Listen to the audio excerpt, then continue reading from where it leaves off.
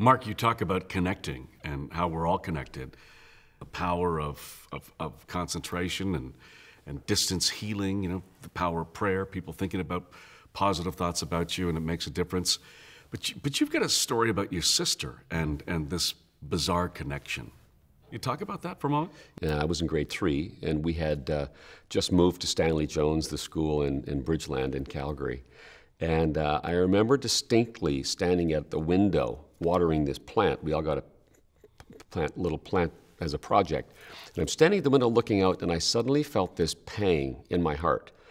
And I'll never forget it because at that time, at the age of nine or whatever I was, this was something I had never felt before, ever. And I thought, well, that's kind of strange. And it went away. And I finished the day.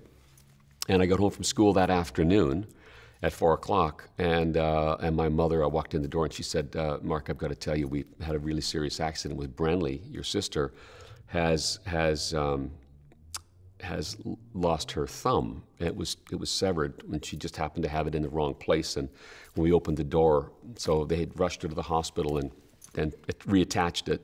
But I, I asked her what time that happened, and she said uh, uh, it was around 10:15, and that was exactly when I had been standing at the window when this happened.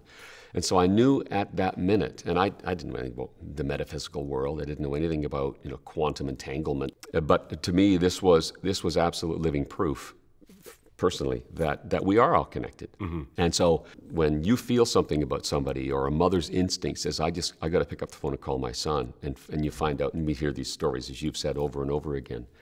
So this to me is something that um, I, I, it actually gives me great comfort because I know we're connected at, you know, at all kinds of levels with, with people around the world. And as a human race, we are all connected.